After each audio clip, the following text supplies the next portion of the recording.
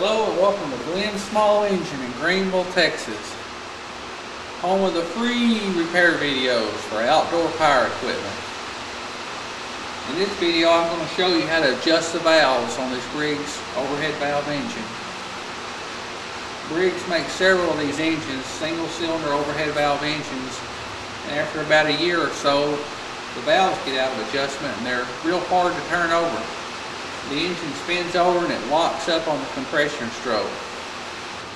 This engine has a mechanical compression release built onto the camshaft and as the valves get out of adjustment it, it no longer works correctly. I'll go ahead and take the valve cover off here.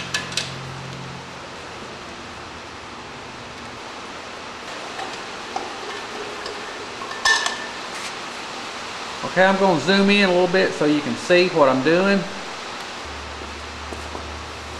Okay, here's our rocker arms that need to be adjusted. Here's our adjustment nuts. There's a Torx screw, lock screw right in the middle, right here. We're going to loosen this Torx screw and then adjust this nut right here. So if we want to adjust our top one, what we're going to do is roll the engine over until our bottom one is open. Roll the engine over until this bottom rocker arm pushes the valve all the way down. Okay, at that point we're ready to adjust our exhaust rocker arm right here. Feeler gauge, a 4000 feeler gauge. We're going to slide it in right there. You can see how loose it is. What we're going to do is hold this, hold that nut right there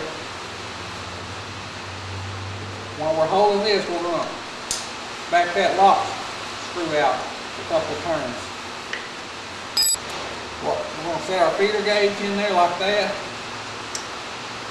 We're going to slowly tighten this up until it starts to get tight right there. It's Starting to get pretty tight. So we're going to stop and go ahead and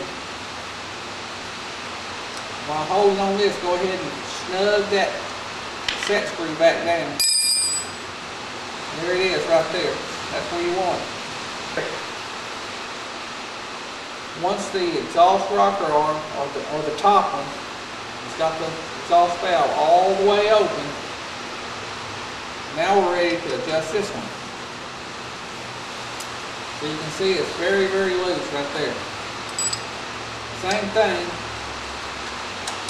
Hold this in place and back out a couple turns on that set screw.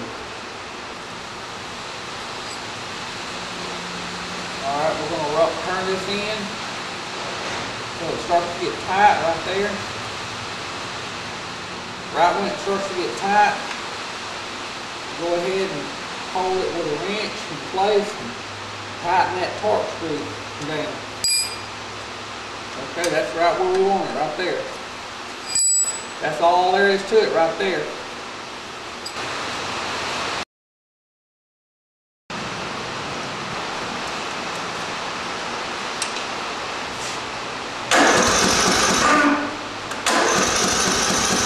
See that that's a lot easier for the engine to spin over.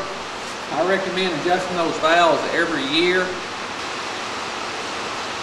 That extra load can shorten the life of the battery and solenoid and starter and other electrical parts. Well, thanks for watching. For more free videos, visit my website at smalleng.com to ensure that these videos stay up and free for everyone. All small donations are appreciated. If you have any suggestions, email me. I'm working on new videos all the time. If there's something you'd like to see, let me know and I'll try to get one up. Thank you.